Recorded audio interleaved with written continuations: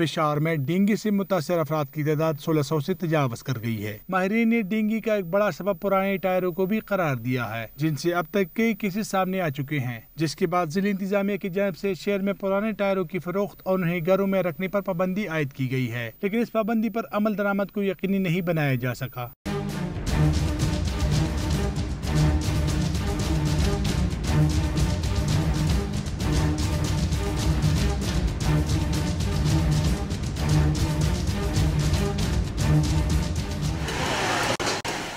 Mutton کڑائی کے لیے مشہور نمک منڈی ان پرانے ٹائروں کی ایک بڑی مارکیٹ ہے جس کی وجہ سے یہاں کھانے کے لیے آنے والوں کو اپنے ساتھ ڈینگی لے کر جانے کا بھی خطرہ پیدا ہو گیا ہے۔ نمک منڈی میں پڑے پرانے ٹائر کاٹ کر بٹیوں کو بیچے جاتے ہیں۔ ریلوے روڈ پر کچھ ایسی ہی صورتحال ہے جہاں دکانوں پر پرانے ٹائر کولیام پڑے ہیں۔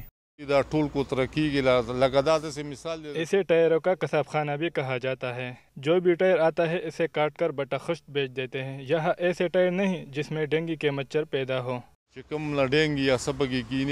بالکل منگ پریگودو نا۔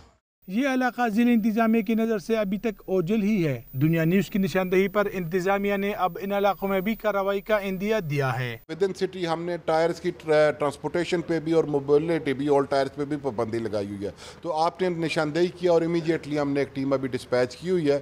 جدھر سے میری پھر بھی میڈیا سے یہ گزارش ہے عوام سے یہ گزارش ہے کہ جہاں کہیں بھی آپ کو کوئی سسپیکٹ چیز old tyres old junk yard کوئی بند کارخانہ کوئی بند گھر جہاں سے آپ کو خطرہ ہو پانی کھڑا ہے ڈسٹرکٹ ایڈمنسٹریشن کو فوراً انفارم کریں موٹر سائیکل کی ورکشاپ میں بھی پرانے ٹائروں کے رکھنے پر پابندی عائد کی گئی ہے، لیکن اس پابندی کو دکاندار خاطر میں لانے کو تیار نہیں۔ کیمرہ مین اسد قمر کے ساتھ مسرت اللہ، دنیا نیوز پشاور